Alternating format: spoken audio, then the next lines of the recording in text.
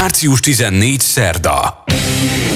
Idén is elérkezik az éjszaka, amikor a sorozat a végállomásához ér. Egy pokolian nagy zúzás keretében lezárjuk a 2011-2012-es Szalagavató After szezont. Találkozzunk március 14-én a Boom szezon zárón, a Playben. A sorozat állomásai nyertes bumlányok részvételével sor kerül a Bumlány választás döntőjére. A lemezjátszók mögött a Boom és a Play rezidens lemezlovasai Jabin, Soma és Tin DJ, Evlik G és Poli. Műsorvezető Zola.